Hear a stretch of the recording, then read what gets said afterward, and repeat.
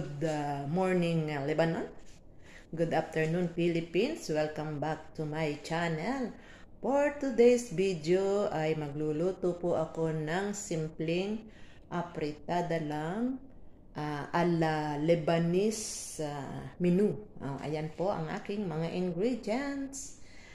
Ayan, meat ang inilagay ng amo ko sibuyas, bawang, nor cubes, at carrots, and patatas lamang. Ayan po ngayon ang aking lulutuin at sa ngayon po ay simulan na natin ang ating pagluluto. At yan ang aking mga spices, salt, uh, shuhaida, black pepper, seven spices nila and oil.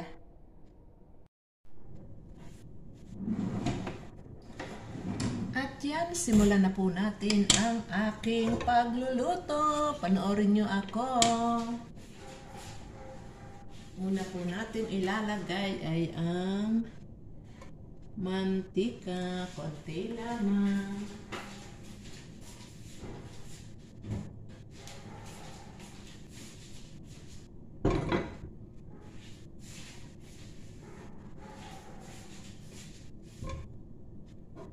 Ready ko na ang aking mga ingredients. Iyan. Painitin po natin ng kaunti ang mantika.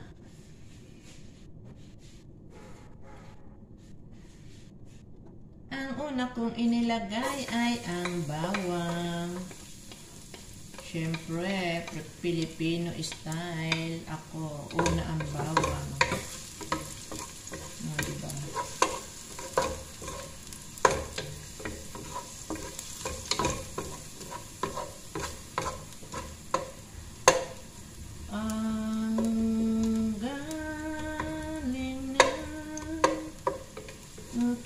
medyo kumanta-kanta muna daw po tayo para ang ating nagluluto ay masarap. Sabi ng iba, ano kakantahin ko? Bahay kubo, kahit munti. Ayan, medyo i-red natin ang kaunti ang bawang. At yan, red na ang bawang. Ilagay naman natin ang sibuyas.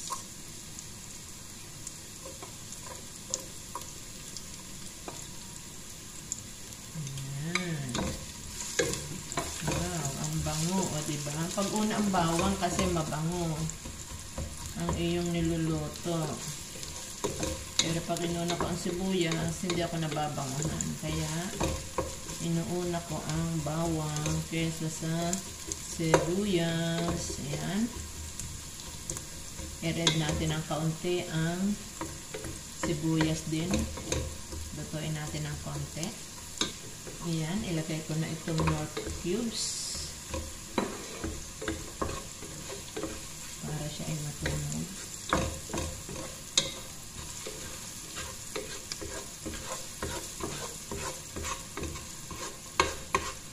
Ayan. At sa kabila namang side, ilagay ko ang meat. Kailangan maluto ang meat. Kasi iba ang meat dito. Hindi ba?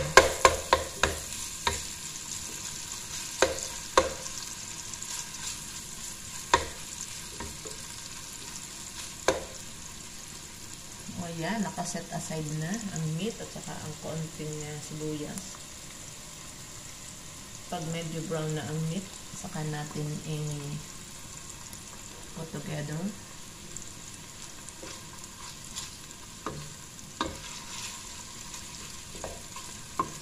Itong aking pagluluto ay base lamang sa aking pagkakaalam. Tsambahan na lang kung ano ang lasa. Sabay ganun. Yan. Iput together na natin ang sibuyas.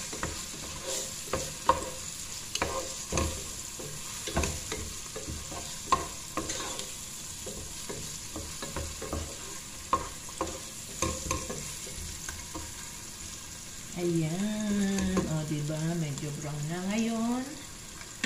Cover natin ng kaunti. Yan, lutuin natin ng kaunti ang meat. Mga 10 minutes. Yan. Tingnan natin kung luto na.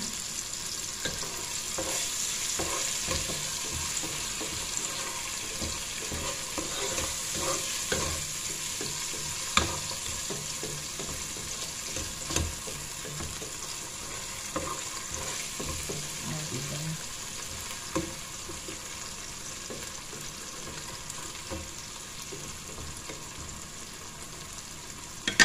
Ayan na po siya. Ayan na. Ilawan pa na natin. Ayan. Ito parang pangit tingnan ang ilaw. Yun. Mas maganda pala doon. Ayan. O, diba? Kumukulo na siya.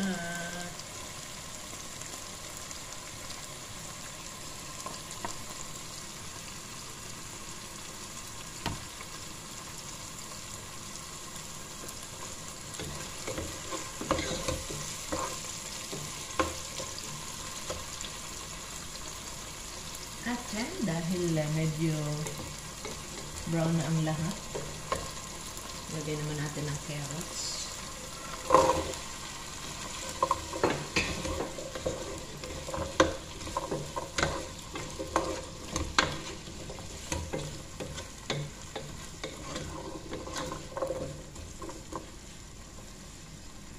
Isabay na natin ang patatas. O, oh, diba?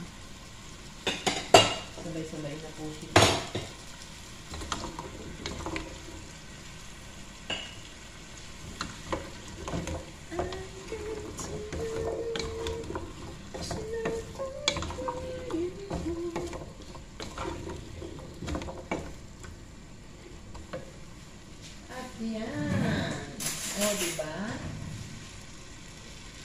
Saka po natin lagyan ng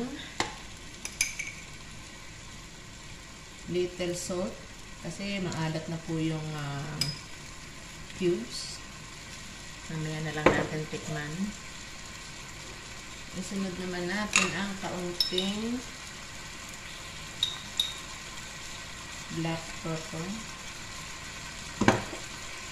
and seven spices na tinatawag nila dito na parang sa atin eh ano siya magic sarap. Parang ganyan. Ayan po, ang mga ingredients ko na na inilagay. Then, haluin natin ang haluin.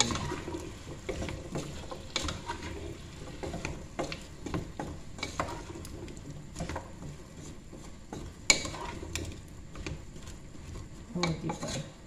Ganyan po lang yan.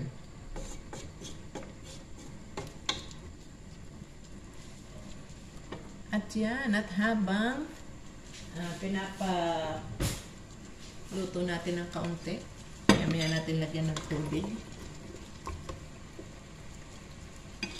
Ito po ang pakanyang pinakang sauce, tomato sauce. Lalagyan natin siya ng tubig.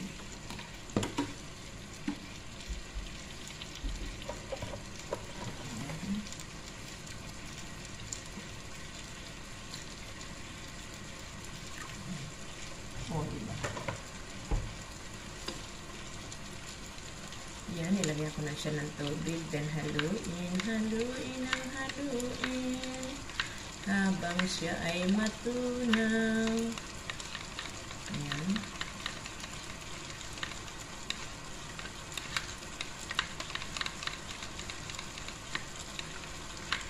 Ayan, medyo tunaw na siya. Ayan, saka natin ilalahok dito. Ayan. O, diba?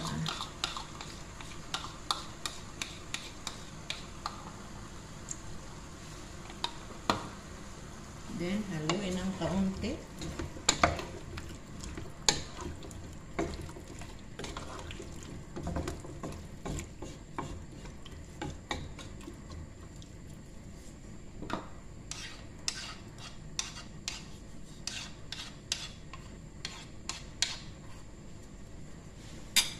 Ayan, at isunod na natin ang tubig. O, di ba?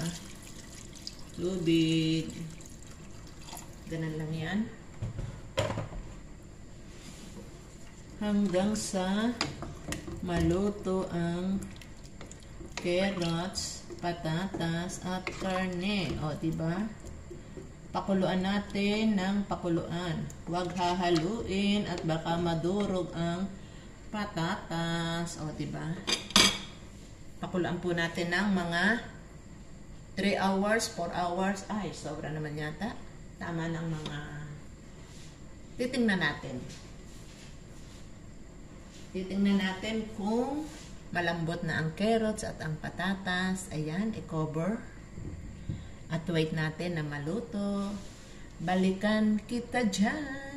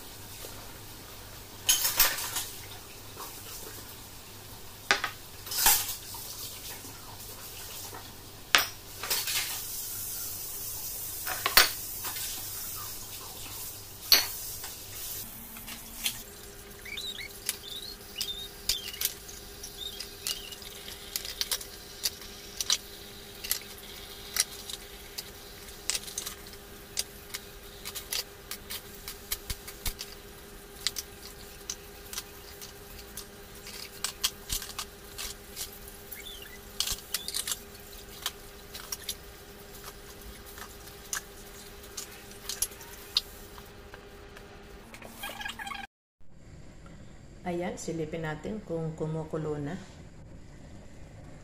O yan, nagsisimula na siyang kumulo. O, diba? Hayaan lang natin kumulo ng kumulo ng kumulo ng kumulo. Okay, balikan uli natin maya maya. Cover it.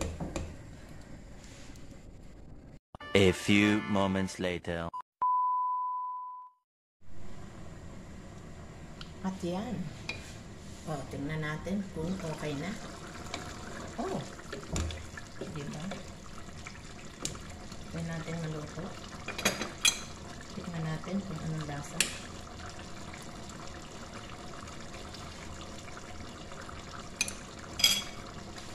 Medyo maasim.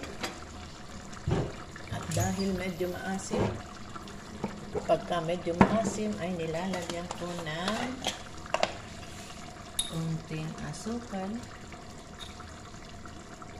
Oh, diba? Kunti pa daw yun kaya marami na. Mamaya ulit, titikman natin.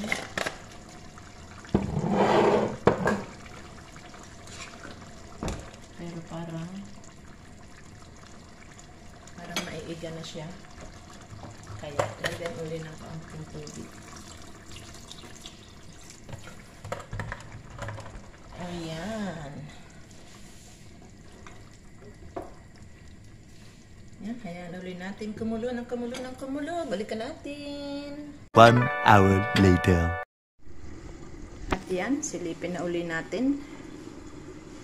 O, oh, diba? Kulong-kulo na. Ito. O, oh, ayan na po ang ating apretada. Oh, luto na siya. Tikman ko ulit kung ano yung lasa na.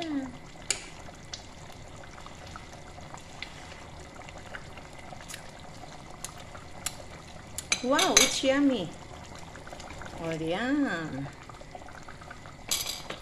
Ayan na po ang kanyang finished product. Pwede ko nang ihain sa kanila bukas. Bukas pa na nila nito lunch kasi meron pa mamaya. Ayan. See you my next cooking. Bye. Thank you for watching.